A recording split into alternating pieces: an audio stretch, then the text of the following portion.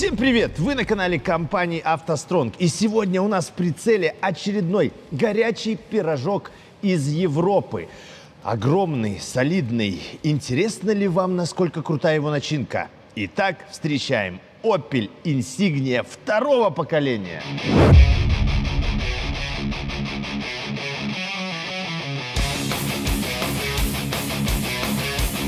Инсигния во втором поколении – это очень много автомобиля за сравнительно небольшие деньги. Так уж получается, что дешевеют они довольно быстро, но об этом могут пожалеть лишь первые европейские владельцы этих автомобилей. В сухом остатке остается вполне фешенебельный и богато оснащенный автомобиль. Его можно найти в кузове Grand Sport. Это пятидверный лифтбэк, как в нашем случае, или в виде универсала Sports Tourer, также доступного во внедорожном варианте Country Tourer. Ну а под капотом чаще всего дизельный двигатель двигатель. Итак, начинаем рассказывать про болячки и особенности эксплуатации этих симпатичных машин.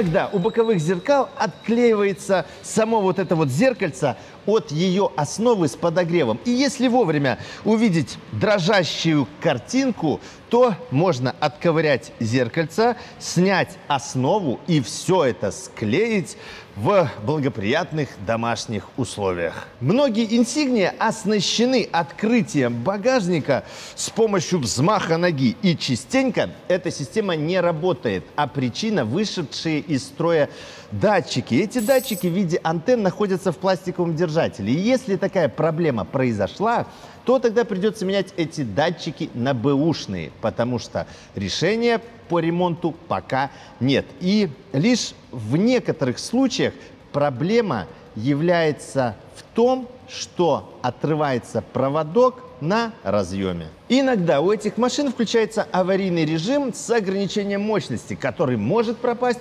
после перезапуска двигателя. В ходе диагностики будет выявлена ошибка P2138 по датчику положения педали акселератора. Так вот, в этом случае педаль можно снять, снять крышку потенциометра и почистить всю его схему и дорожки очистителем контактов. Часто это помогает. В противном случае, если это не поможет, придется искать БУ педаль на разборках, потому что новая стоит баснословно дорого, а аналогов нет. Обязательно, если что, звони в автостронг. Гораздо реже требует внимания педаль сцепления. Там течь дает главный цилиндр сцепления. Тут уж никакой чисткой не обойтись. Придется покупать либо БУ цилиндр или новый, а он стоит порядка 250 долларов. И еще, давайте на пару секунд секунд заглянем в салон. Он достаточно свежий, добротный, и особо рассказывать про него нечего. И красивый.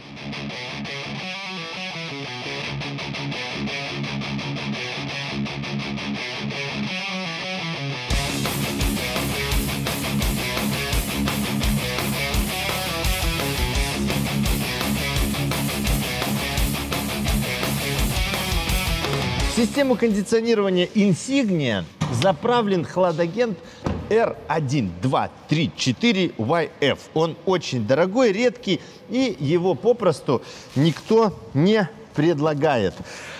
Поэтому его можно заменить на всем привычный R134. Но для этого надо весь заводской хладагент выпустить из системы и заправить новый с маслом.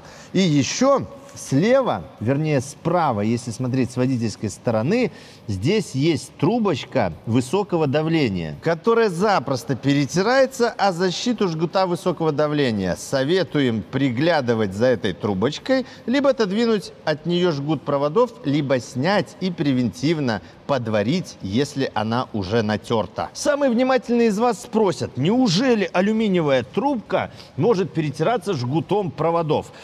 Все верно. Жгут проводов тоже страдает от этой трубки. Вообще, это провода, которые идут к передним парктроникам. И если они перетираются, то один или несколько датчиков перестают работать. В общем, эту пару алюминиевую трубку системы кондиционирования и жгут проводов надо изолировать друг от друга, чтобы не было у них взаимного трения.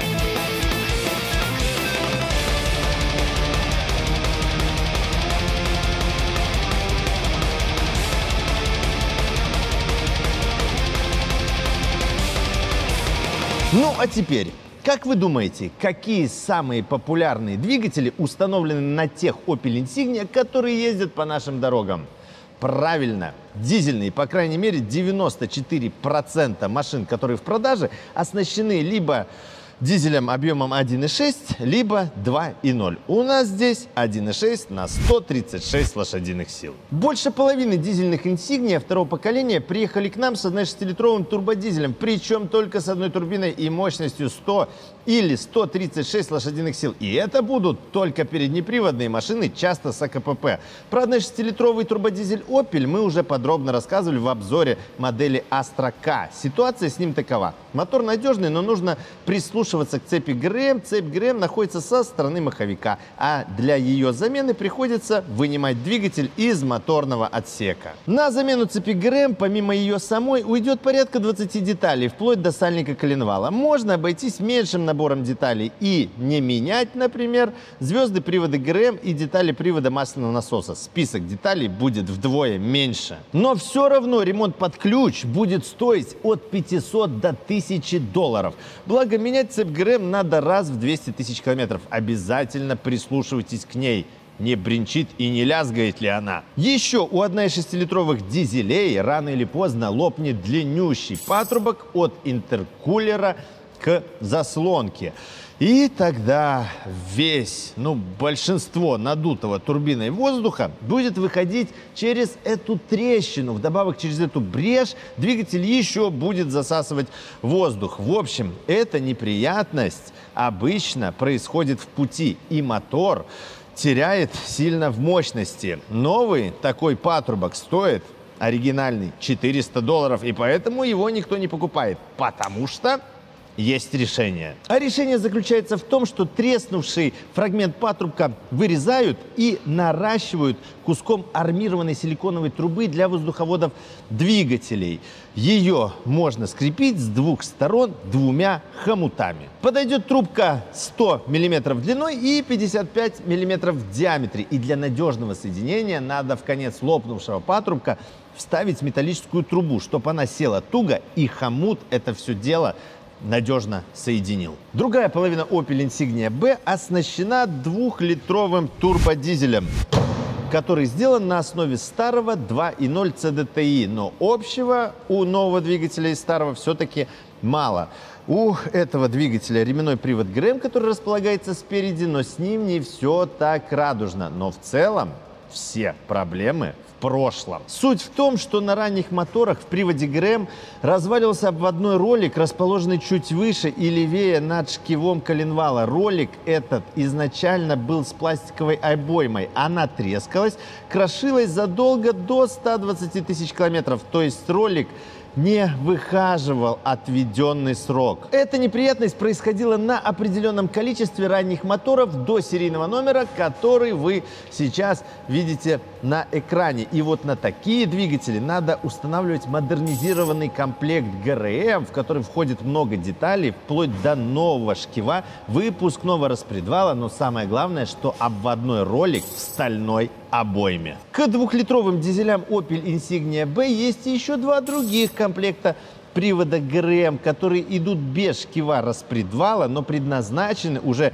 для моторов с более поздними серийными номерами. Так вот, почему-то очень странно, что там все ролики пластиковые, кроме крохотного валика, который находится правее шкива коленвала. В общем, на чем бы хотелось заострить внимание? Надо выбирать обводной ролик со стальной обоймой. Его цена по оригиналу на сегодняшний день зашкаливает в районе 300 долларов, но все именитые производители предлагают такие ролики от 60 до 100 долларов. Комплект ГРМ для двухлитровых дизелей стоит по оригиналу 500 долларов, но можно собрать комплект дешевле из неоригинальных запчастей. Но это еще не все про привод ГРМ. Дело в том, что оба распредвала соединены цепью, а между звездами установлен гидронатяжитель, который давит на цепь вниз. Так вот, из-за бессовестного износа этой цепи гидронатяжитель прижимает ее к краю ГБЦ, и тогда она умудряется выгрызть там алюминиевый фрагмент. Вдобавок изнашиваются и разваливаются направляющие башмаки. В общем, из-за износа или обрыва этой цепи поршни могут так бомбануть по клапанам, что подлетит один из распредвалов. Если у вас есть простенький эндоскоп, то можно оценить состояние цепи. Благо она находится возле маслозаливной горловины. Смотреть надо на участок возле гидронатяжителя. Если цепь там шаркает ОГБЦ, то тогда ее срочно надо менять. В общем, при замене зубчатого ремня настоятельно рекомендуется заменить цепь распредвалов и натяжитель. А для этого надо снять форсунки, клапанную крышку и вакуумный насос. Придется использовать 7 новых прокладок, также огнеупорные шайбы и также уплотнительные кольца под форсунки. В общем, для правильного позиционирования распредвалов нужен специальный кондуктор. Короче, обычная замена безобидная ремня ГРМ при пробеге в 120 тысяч километров выливается такое вот нешуточное обслуживание мотора. Каждую вторую замену ремня ГРМ стоит снять масляный поддон и как минимум поменять прокладки маслозаборника. Их две штуки. И обязательно стоит обновить шатунные вкладыши. Они тут точно такие же, как на моторах 1.9 CDTI и 2.0 CDTI. А после пробега в 200-250 тысяч километров выглядят уж слишком уставшие. Оригинальные сейчас в продаже не продаются, а комплект достойных аналогов обойдется в 15-20 долларов. Ну, а теперь пару слов о системе экологии. Ее можно просто отключить. Рано или поздно потребует внимания система впрыска мочевины. Либо же выйдет из строя ее подогрев, либо же датчик уровня, либо же случится что-то еще. Но в большинстве случаев достаточно обработать контакты очистителем контактов, то есть разъемы очистителем контактов, потому что в них попадает вода, а позже эти разъемы можно обработать диэлектриком. Еще многих владельцев раздражает система старт-стоп, но ее можно отключить. Есть несколько решений. Одно из решений с помощью товаров, которые продаются на китайских маркетплейсах, а именно хитрого чипа в виде штекера, который втыкается в ОБД разъем. И тогда система старт-стоп перестает работать и никаких ошибок не будет. Другое решение – это провод, вставка для концевика замка капота. Под пластиком вокруг замка капота протянут провод к замку. В разрыв между концевиком и проводом подключается продаваемый в Китае провод со специально подобранным сопротивлением. А вот после рестайлинга младшим дизельным мотором стал турбодизель объемом 1,5. Этот агрегат создан с чистого листа. У него три цилиндра и цепной привод ГРМ, который находится спереди. Но на самом деле сведений о его надежности и проблемах маловато. Вдобавок и запчастей мало в продаже, а цены зашкаливают. Ну а теперь про бензиновые двигатели. Как уже отмечалось, бензиновых Opel Insignia в продаже мало. Базовый мотор для этой машины бензиновый 1,5 турбо. На самом деле сведений о нем немного. Известно, что встречается еще версия 1.6 турбо. Что, что о нем известно, что в его разработке участвовало несколько китайских компаний. Этот мотор производится с 2013 года и ну, таких фатальных проблем не имеет. Бензиновый двухлитровый турбомотор на Insignia второго поколения встречается крайне редко. Этот агрегат B20 NFT. Устанавливали его с июня 2017 года по июнь 2018 года. Его не удалось вписать в строгие экологические нормы Евро-6D. На рестайлинговых Insignia с весны 2020 года появился новый двухлитровый турбомотор в нескольких вариантах мощности. Но дело в том, что в Европе эти моторы редкие гости, а к нам они не заезжают от слова совсем. И информации о их надежности буквально нет.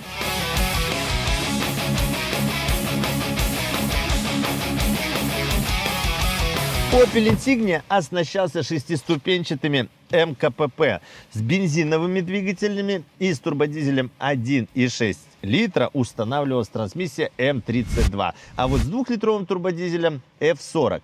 М32 известна тем, что изнашиваются у нее подшипники, особенно задний подшипник вторичного вала. Эта проблема была известна еще на инсигнии первого поколения. И чтобы не столкнуться с этой проблемой, меняйте в ней масло в этой трансмиссии каждые 80 тысяч километров или чаще.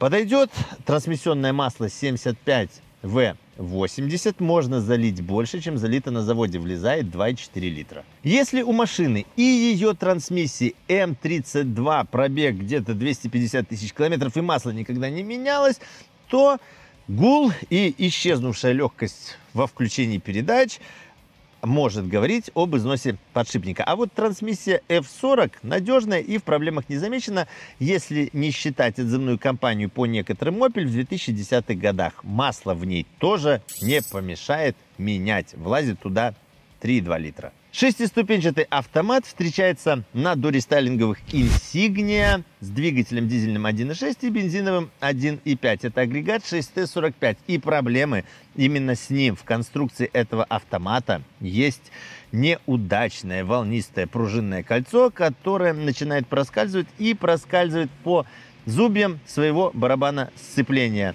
В результате появляется стружка, проблемы с передачами 3 и 5 и задним ходом. Эта проблема сегодня не массовая и пока очень редко проявляется на Opel Insignia второго поколения. Но чтобы трансмиссия служила дольше, надо частично менять в ней масло каждые 60 тысяч километров. Через сливную пробку выливается 4,2 литра масла, а использовать масло надо Dexron 6.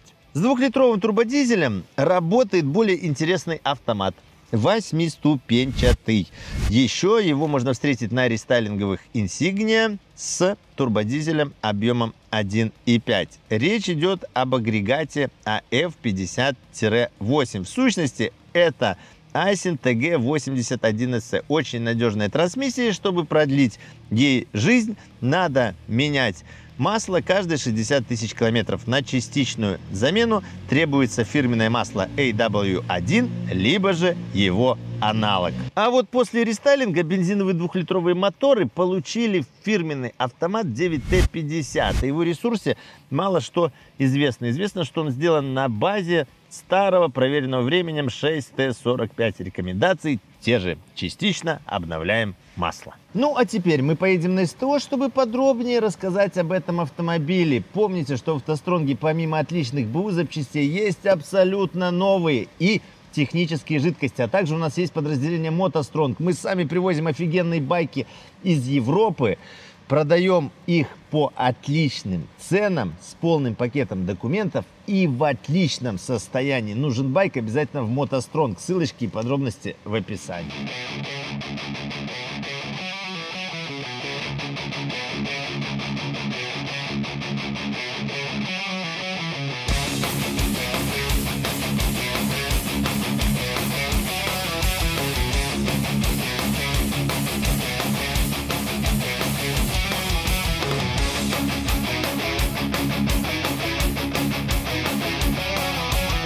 Ну что, мы на СТО и продолжаем. Если Insignia B оснащена полным приводом, у нас моноприводный автомобиль, то в такой трансмиссии используется аж три вида масла. Дело в том, что угловой редуктор, который приводит карданный вал, отключаемый. У него в конструкции есть многодисковое сцепление. Если оно разомкнутое, то карданный вал – не вращается. И в такой умный редуктор надо заливать специальное масло. Влазит 750 миллилитров. В заднем редукторе, который производит компания GKN, а называется он Twinster, нет никакого дифференциала. Оба привода задних колес соединены с угловым редуктором через свои многодисковые сцепления. В корпусе заднего редуктора есть сливная и заливная пробки. Там используется 1 литр масла. Так вот, Если слышен гул в заднем редукторе, то ему предписана замена масла и смена программного обеспечения для заднего привода. Ну и третий сорт масла используется непосредственно в муфтах задних приводов. Оригинальное масло стоит примерно 30 долларов за литр и не всегда присутствует в продаже. Но есть одно маслозаменитель, которое без проблем можно купить и стоит оно заметно дешевле оригинала. А сама компания Opel никак не регламентирует замену масла. Как менять и когда менять, решают сами владельцы. Ну а замену лучше доверить профессионалам. В выхлопной системе дизельных Insignia установлено два датчика оксидов азотов. Оригинальные датчики производства компании NGK и подключены они к блокам управления Continental. Так вот, если есть какая-то проблема с этими датчиками, а именно загорается чек engine на приборной панели, ну и это из-за датчиков, то датчики стоят 300 долларов за новые. Такие датчики, по сути, одинаковые для всех дизельных моторов, по 8 контактов. А, так сказать, ремкомплектные датчики NOx можно заказать из Китая. Инструкция по соединению проводов пайкой прилагается. Передняя подвеска – это традиционно стойки Макферсона. Вот этот вот нижний рычаг идет в сборе шаровой стоит по оригиналу 300 долларов. Заменители от 90 до 190 долларов. Отдельно можно по неоригиналу купить вот этот вот задний сайлентблок по стоимости от 20 до 60 долларов. Стойки стабилизатора стоят от 10 до 55 долларов, а опорные подшипники по оригиналу 330 долларов, заменители от 15 до 80. Задняя подвеска у Opel Insignia B многорычажная,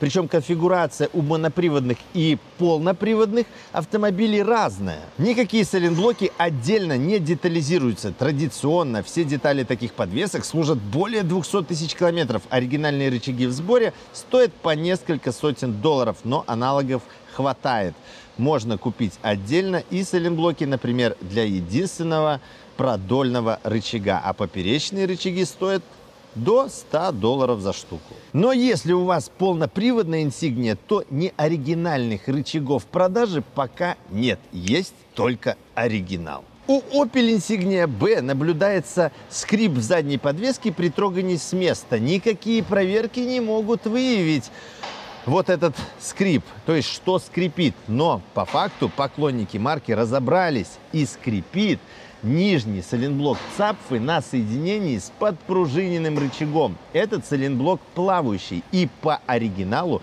он не продается, но уже есть китайские аналоги. Ищите в каталогах по номеру цапфы. И сюда отлично подойдет сайлентблок от BMW X3 в кузове F25. У него много вариантов от хороших производителей. Лайфхак.